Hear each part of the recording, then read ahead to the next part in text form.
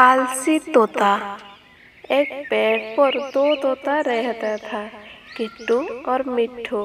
एक बहुत आलसी, दूसरी बहुत चालाक था। एक दिन समझदार तोते ने देखा पेड़ की जड़ से एक बेल निकल गई। जो पेड़ का सहारा लेकर चढ़ती जा रही है।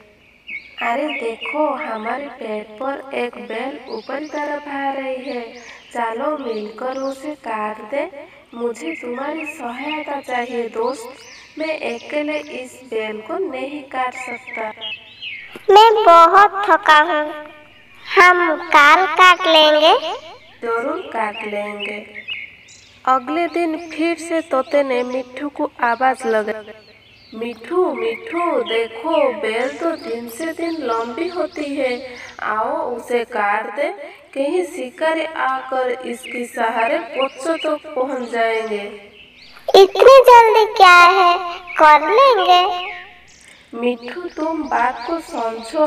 अभी तो बेल लाजुक है मिलकर हम उसे काट सकते हैं।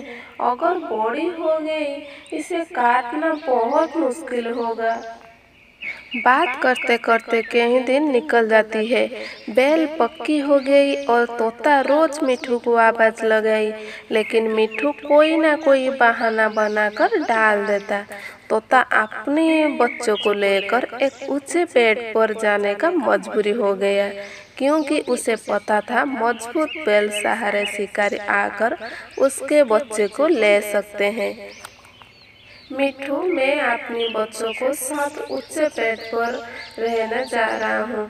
क्या तुम भी चलोगे? यहाँ रहना सुरक्षित नहीं है। तोता आलसी होने की वजह से काम पल पल डाल देता था। इसी तरह एक दिन तोता का बच्चे पर शिकारी का नज़र पड़ा। उन्हें मज़बूत बैल पर चढ़कर मिट्टू के बच्चों को उठा लिया। मिठू को आपको अपने आलसीपन से बहुत पछतावा आना पड़ा